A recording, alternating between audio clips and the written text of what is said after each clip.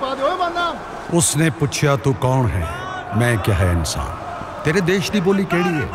ਹਰ ਪ੍ਰਦੇਸ਼ ਦੀ ਆਪਣੀ ਬੋਲੀ, ਹਰ ਬੋਲੀ ਦਾ ਸਨਮਾਨ। ਪਰ ਇੱਕ ਦੇਸ਼ ਦੀ ਸਾਂਝੀ ਬੋਲੀ ਐਸੀ ਵੀ ਹੋਵੇ ਹੋਵੇ ਸਭ ਨੂੰ ਜੋ ਪ੍ਰਵਾਨ। ਤੇ ਇੱਕ ਦੂਜੇ ਦੀ ਗੱਲਬਾਤ ਨੂੰ ਹੋਵੇ ਸਮਝਣ ਵਿੱਚ ਆਸਾਨ। ਮੈਂ ਪੰਜਾਬਣ ਮਾਂ ਦਾ ਜਾਇਆ। ਪੰਜਾਬੀ ਮੇਰੀ ਜ਼ੁਬਾਨ, ਮੇਰੀ ਆਨ ਬਾਨ ਤੇ ਸ਼ਾਨ। ਦੁਨੀਆ ਤੇਰੇ ਲਈ ਕੀ ਹੈ? ਗੁਰੂ ਨਾਨਕ ਦਾ ਫਰਮਾਨ।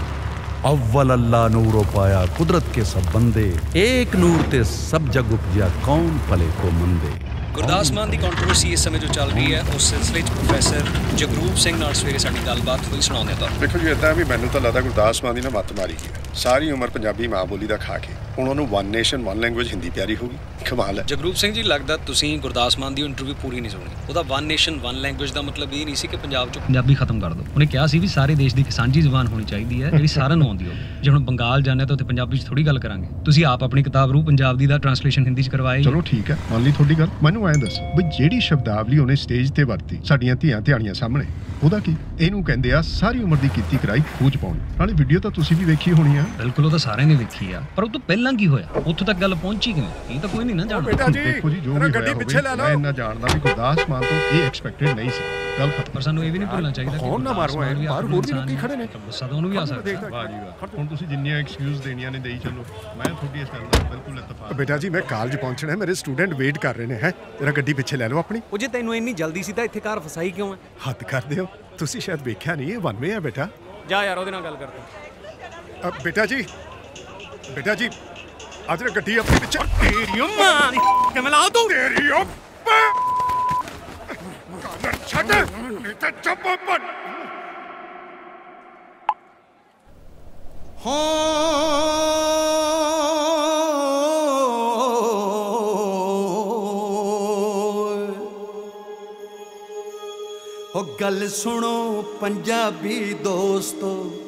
ਕੁਛ ਲੈਂਦੇ, ਸੋਚ ਵਿਚਾਰ। ਬਿਨ ਸੋਚੇ ਸਮਝੇ ਕੱਢ ਲਈ, ਉਹ ਲਫ਼ਜ਼ਾਂ ਦੀ ਤੇਜ਼ ਕਟਾਰ। ਮੈਥੋਂ ਚੰਦ ਮਿੰਟਾਂ ਵਿੱਚ ਖੋਲਿਆ ਹੋ ਮੈਥੋਂ ਚੰਦ ਮਿੰਟਾਂ ਵਿੱਚ ਖੋਲਿਆ। ਮਾਂ ਬੋਲੀ ਦਾ ਸਤਕਾਰ। ਮਾਂ ਬੋਲੀ ਦਾ ਸਤਕਾਰ। ਚਲੋ ਅੱਛਾ ਹੋਇਆ ਪਰਖ ਲੈ। ਉਹ ਚਲੋ ਅੱਛਾ ਹੋਇਆ ਪਰਖ ਲੈ। ਕੁਝ ਦੁਸ਼ਮਣ ਤੇ ਕੁਝ ਯਾਰ। ਮੇਰੇ ਹੱਕ ਚ ਬੋਲਣ ਵਾਲਿਓ ਤੁਹਾਡੀ ਸਦਾ ਰਹੇ ਜੈਕਾਰਿਓ।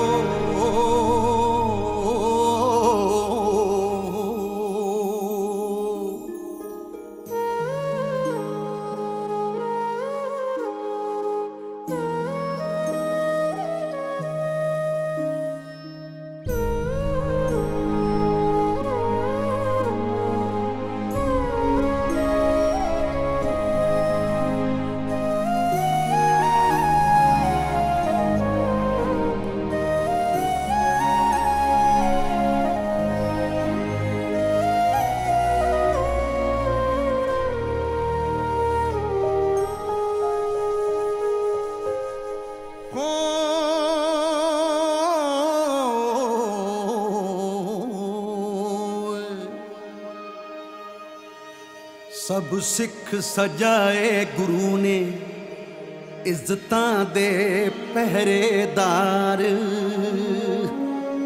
ਜੋ ਭਲਾ ਮੰਗਣ ਸਰਬਤ ਦਾ, ਤੇ ਸਿਰ ਵੀ ਦੇਵਣ ਵਾਰ।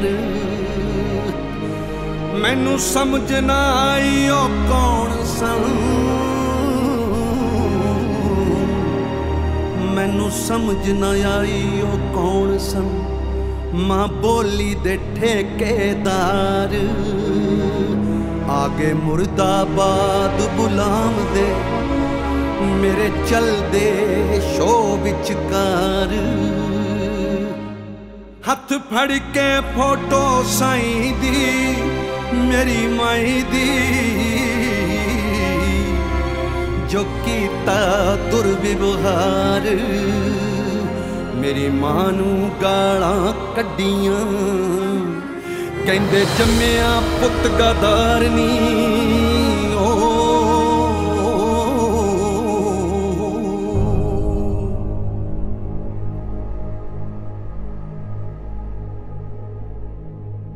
ਮੈਨੂੰ ਕਿਉਂ ਨਾ ਗੁੱਸਾ ਆਉਂਦਾ? ਮੈਨੂੰ ਕਿਉਂ ਨਾ ਗੁੱਸਾ ਆਉਂਦਾ? ਮੂੰਹ ਕਿਉਂ ਨਾ ਨਿਕਲਦੀ ਗਾਲ? ਮੈਂ ਆਪਣੀ ਮਾਂ ਨੂੰ ਪੁੱਛਿਆ, ਕਰ ਸੁਪਨੇ ਵਿੱਚ ਸਵਾਲ, ਇਹ ਕੀ ਹੋਇਆ? ਕਿਉਂ ਹੋ ਗਿਆ? ਛੜੇ ਅੰਤਰ ਸੀਆਂ ਚਾਲ? ਮਾਂ ਕਹਿੰਦੀ, ਪੁੱਤੇ ਹੋਣੀ ਸੀ ਮਾਂ ਕਹਿੰਦੀ ਪੁੱਤੇ ਹੋਣੀ ਸੀ। ਹੋਣੀ ਕੋਈ ਨਹੀਂ ਸਕਦਾ ਟਾਲਿਓ।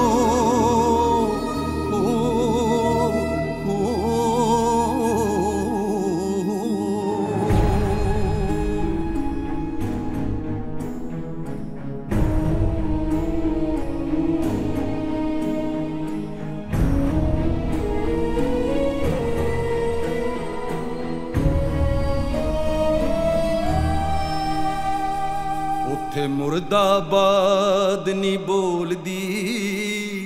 ਉੱਥੇ ਮੁਰਦਾਬਾਦ ਨਹੀਂ ਬੋਲਦੀ।